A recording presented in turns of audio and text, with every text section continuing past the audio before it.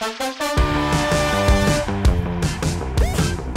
out for a fun afternoon of the first annual Leprechaun event at Native Oaks Golf Club. Enjoy St. Patrick's Day and hopefully have a good round.